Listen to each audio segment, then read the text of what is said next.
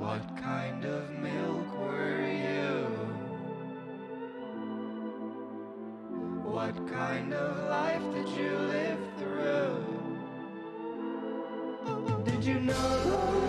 Will you rest in peace? Did you have a family? How was the view from the shelf? Did you ever believe in yourself? What